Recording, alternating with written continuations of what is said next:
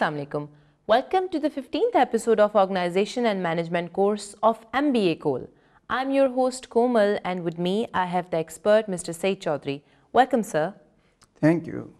Students, in today's program we are going to study what is organizational development. And now I would like the expert to tell us what is organizational development.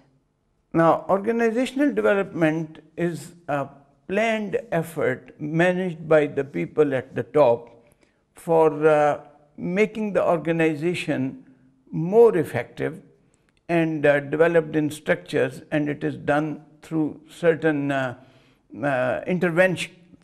And as you might have noted, it is uh, related to a certain discipline which we call behavioral science because we need people to work in organizations and therefore we have to develop the organization with the development of these people.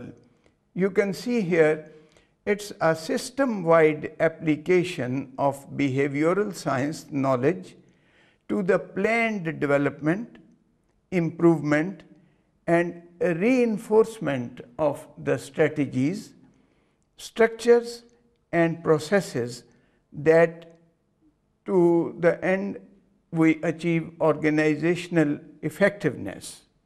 Expert, you have just told us that it is related to some kind of discipline which is behavioral sciences and you have told us what is organizational development. Would you be kind enough to tell us how do we bring about that development? Now, all development is change and change for the betterment of the organization to make it more effective. As you can see, organizational development is an effort planned organization-wide and managed from the top to increase organizational effectiveness and health through planned interventions in the organization's processes using behavioral science knowledge. This is a definition from Richard Beckhard, who was a well-known organizational thinker or thinker in management science. Students, the expert just explained some basic traits which are planned, organization-wide, managed from the top, increased organizational effectiveness and health, planned interventions and behavioral science knowledge. And now we will come to the OD strategy, which is a complex strategy intended to change the beliefs, attitudes, values, and structure of organizations so that they can better adapt to new technologies, markets, and challenges. I would like the expert to explain us further. As we have noted, the strategy is complex and it's organization wide, it's managed from the top and it needs interventions. Now, through this strategy, what do we do? We change values, we change attitudes, we change work habits, beliefs, and we change the structures with which the organization is made of. That is, its uh, departments, its divisions, its units and subunits. And we also train people to use new technologies. With the coming of new technologies, there are changes in organizational structures also. So all these processes which are managed through interventions help us change and develop the organization as has been pointed out by Warren Bennis, who was also a management thinker. Now, it's not only a simple change, it's a complex and organization-wide change, mm -hmm. and it is managed from the top, and it changes the values and beliefs and attitudes and work habits. And alongside that, obviously, we have to change the structures, mm-hmm. the structures of which the organization is made of. All right. That is the departments and the divisions. And these need changes in the human resource also. Mm-hmm. If we introduce new technologies, we need training, mm-hmm. and therefore we have to train people in the new technologies and raise their productivity. Now, what we must note here is that uh, organizational development is not just any change to make uh, the organization better in this aspect or in that aspect. It's a planned change, which means that it's a series of changes and the processes, and it's done through interventions mm-hmm. which are very well planned right. before their introduction. Mm-hmm. And you can see it involves reflection, that is, it involves thinking before planning, and it involves system improvement, planning, and ultimately self analysis.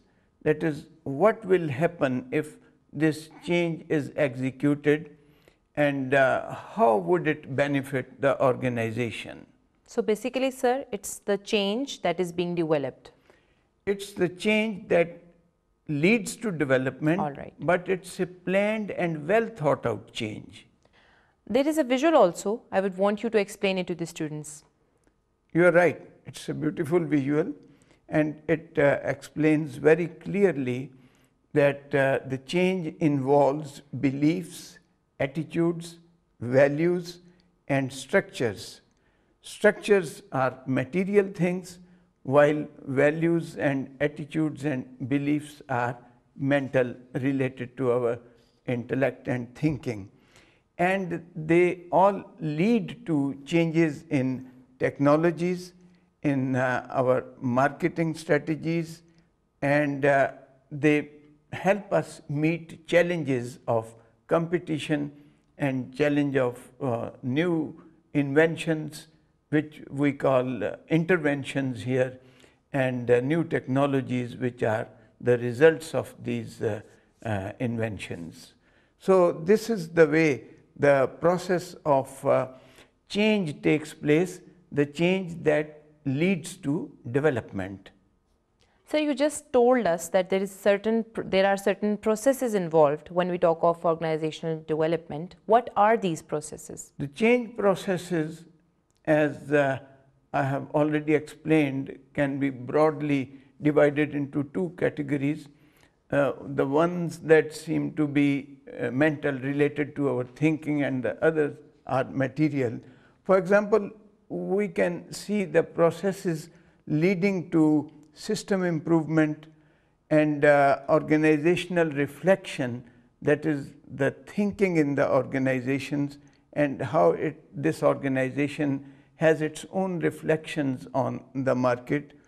And uh, there is uh, these processes are to be planned. And they are a result of the self analysis of the manager who believes that there is this is the appropriate time to change. That the first thing is the, that the manager must feel the need to change. And he must be sensitive enough to sense that the change is coming.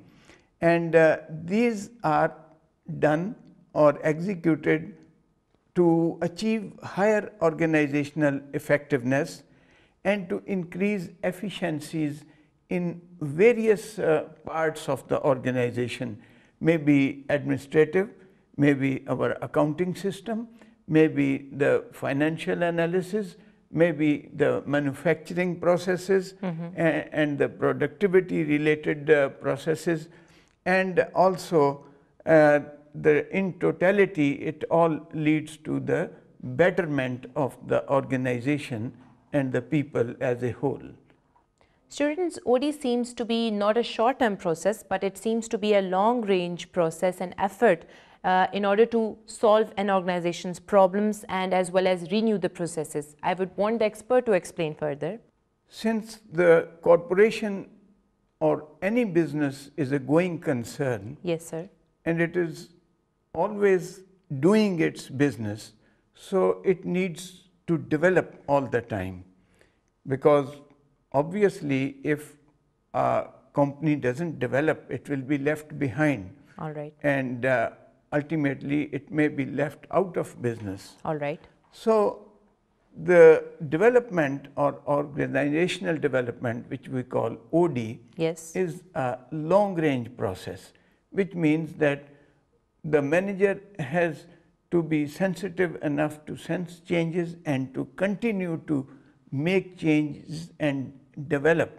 As you can see on the slide, organizational development is a long range effort to improve organizations' problem solving and renewal processes, particularly through more effective and collaborative management of organizational culture with specific emphasis on the culture of formal work teams with the assistance of a change agent or catalyst and the use of the theory and technology of applied behavioral science including action research.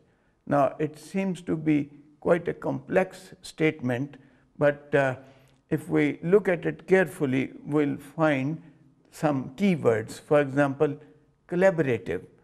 It means that organizational change and development is a collaborative effort. Then there is the People- word, sir, um, management of organization culture. Yes, people have to be included. And since people, are, when they work together and for some time, they create a culture in the organization. And creating culture also depends upon the attitudes of the top management. Exactly. So the culture will change and uh, the behavior will change. And it will change collectively.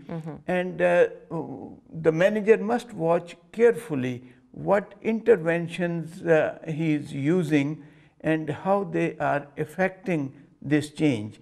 And whether we are achieving the objectives uh, we want to achieve i mean the objectives of organizational Organizational development. Expert, is there any kind of special approach that we need for this OD? Special approach is needed because, as we discussed, it's not just any change in any aspect that uh, we are doing for making something better. It's about the whole organization and all the people working. So, the finances, the human resource, the marketing, the logistics, the communications, since all are involved, we need to plan it very carefully. And you can see a special approach to organizational change in which the employees themselves formulate the change that's required and implemented, often with the assistance of a trained consultant. A planned strategy to bring about organizational change. Now, here uh, it's a very fine point made here that is, the people should feel that they want this change, rather, they have suggested this change. All right. It should come from them. And but we need technical advice. We need an exactitude. We need measurement. Yes. So there must be some expert or consultant who should guide this process while the people should feel that they are doing it